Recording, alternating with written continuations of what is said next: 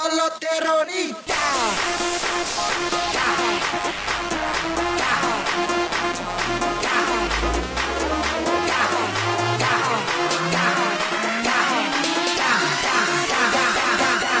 and do the Harlem. Shake.